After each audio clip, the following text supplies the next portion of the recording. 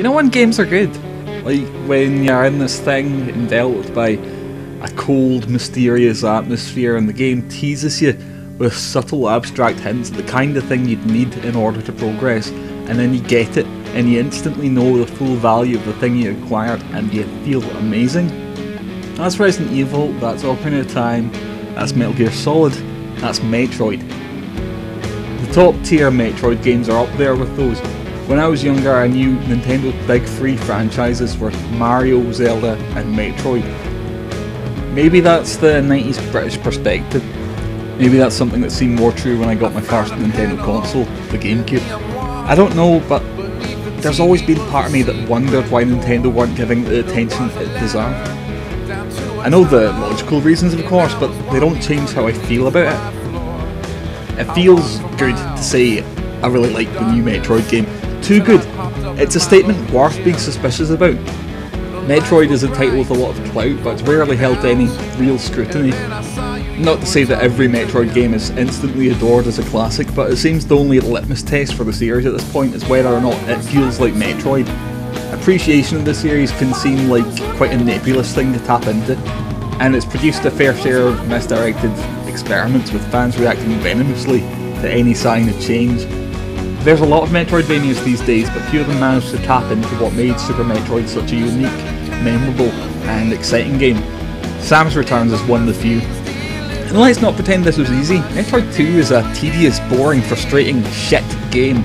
There's things to like in it, sure, but if it wasn't connected to such a beloved series, nobody would even consider playing it today. It's a series of haphazardly arranged corridors, and your goal is to check off a list of identical bosses. It's the kind of game that made people sneer at the Game Boy. A game that felt more like cheap merchandise than anything that could be held to the same standard as the home console titles. The worst stuff in Samus Returns is the stuff that takes directly from Metroid 2. This is a remake and there's issues with the original game structure that you can't avoid if you're doing one of those. Fighting the same bosses over and over gets boring and there's far too few memorable locations and set pieces and the story is bare bones. What's really great about Samus Returns is how sensibly they tackle the issue of what a 3DS 2D Metroid game should be.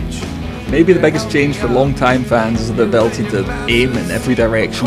Old Metroid bosses were often a struggle of constantly jumping to get into the right position for a split second, to get lined up to shoot a weak spot, and then you'd repeat that for 10 minutes and you'd hope the boss would die instead of you. The ability to aim at any angle makes fights feel more precise, quicker, and for the first time in the 2D games, well designed.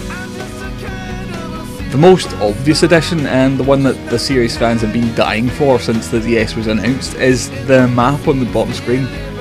Maps are such an important aspect to Metroid with so many complicated connections between each room and so many things to keep track of. You can even mark areas that you think will be significant later on, and even old fans might want to consider that, since this might be the biggest 2D Metroid game ever. That leads to another important addition teleport stations. Like most gameplay additions, they're optional, but they're not so abundant that you lose the core feeling of exploration. They just cut out a lot of busy work, if you're not into busy work. There's also the Aeon abilities, which are intended to make old-fashioned Metroid more palatable to modern audiences. You can scan the area around you to reveal hidden rooms on a map or temporarily slow down enemies.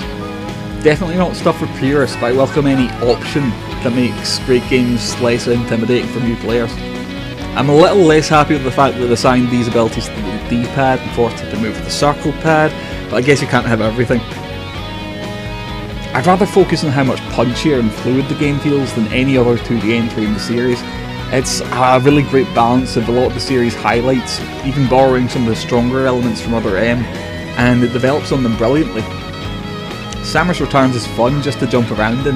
It feels great. It's very easy to forget that this was supposed to be based on such a stiff and limited game as Metroid 2. Samus Returns definitely isn't a 1991 game. It's the most modern feeling Metroid game so far. Most of the connections to Metroid 2 feel more like cute references than anything foundationally definitive. It adds so much to the game and shakes up the momentum so much they feel nothing alike. It's been a very long time since the last 2D Metroid, and the core gameplay has never felt better. I'm not sure if it could even feel as good on a system other than the 3DS.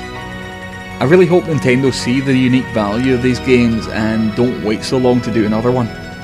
I want to see the lessons learned from this game applied to an entirely original title. It's a series credited for defining a genre and it still feels unique and vital within that genre. Such wonderful, overwhelming loneliness. I love Metroid. Have you noticed how many times I've said its name here? It's a cool name, Metroid. I'm so glad it's back. I'm so glad Samus Returns is so huge and so good. You could just let me embrace this comfort forever.